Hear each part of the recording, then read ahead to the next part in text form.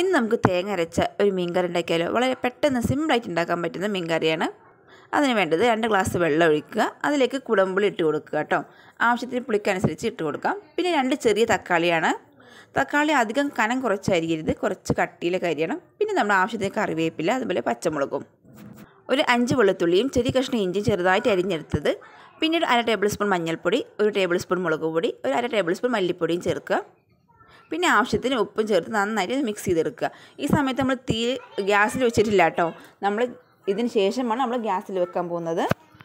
നമ്മൾ ഗ്യാസിൽ വെച്ചിട്ട് ഇതൊക്കെ നന്നായി തിളച്ച് കുറച്ച് വെള്ളമൊക്കെ വറ്റിയ ശേഷം നമ്മുടെ കയ്യിലുള്ള മീൻ അതിലേക്ക് ഇട്ട് കൊടുക്കാം. ചെറിയ മീനുകളാട്ടോ ഈ കറിക്ക് ഏറ്റവും ടേസ്റ്റ് ഉണ്ടാവുന്നത്. ഒരു സ്പൂണോ കയ്യിലോ ഉപയോഗിച്ചിട്ട് തിളക്കിയത് ഇതേപോലെ ഒന്ന് ചുറ്റിച്ച് കൊടുത്താൽ മതി. ഇല്ലെങ്കിൽ മീനൊക്കെ നുടഞ്ഞു പോകും അതുകൊണ്ടാണ്.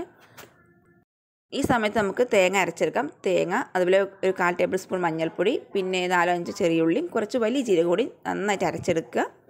നന്നായിട്ട് മീനൊക്കെ നന്നായി വെന്ത ശേഷം നമ്മൾ ഈ അരച്ച അരപ്പ് ഇതിലേക്ക് ഒഴിച്ചു കൊടുക്കുക. തേങ്ങ ഇട്ട് ഒരുപാട് നേരം തിളക്കേണ്ട ആവശ്യമൊന്നുമില്ല. ജസ്റ്റ് ഒന്ന് തിളച്ച അപ്പോൾ തന്നെ തീ ഓഫ് ചെയ്യാം നമുക്ക് ഹോട്ടലിൽ നിന്നൊക്കെ കിട്ടുന്ന അതേ സ്റ്റൈലിലെ മീൻ കറിയാണ് കേട്ടോ ഇത്. വളരെ സിമ്പിളും നല്ല ടേസ്റ്റിയാണ്. എല്ലാവരും ട്രൈ ചെയ്ത് നോക്കാൻ മറക്കരുത്.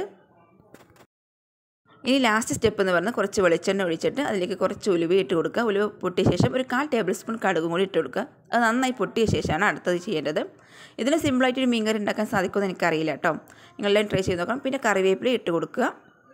പിന്നെ മുളക് പൊടി ഇട്ട് കൊടുക്കണ്ട. ഇത് ഇട്ടാൽ നമ്മുടെ മീൻ കറിക്ക് നല്ലൊരു കളറും അതേപോലെ നല്ലൊരു ടേസ്റ്റും ഉണ്ടാവും. ഇത് നേരെ നമ്മൾ ആ ചാറിലേക്ക് ഒഴിച്ചു കൊടുക്കുക. അപ്പോൾ നല്ലൊരു സ്മെല്ല് പെട്ടെന്ന് അടച്ചു വെക്കുക എന്നാൽ പിന്നെ ആ സ്മെല്ലൊക്കെ അതിനകത്ത് തന്നെ ഉണ്ടാവും. അങ്ങനെ നല്ല ടേസ്റ്റി സിമ്പിളായിട്ടുള്ള മീൻ കറി റെഡി ആയിട്ടുണ്ട്. നിങ്ങൾക്ക് എന്റെ വീഡിയോ ഇഷ്ടമായെങ്കിൽ സബ്സ്ക്രൈബ് ചെയ്യാനും അതുപോലെ ലൈക്കും ഷെയറും മറക്കരുത്.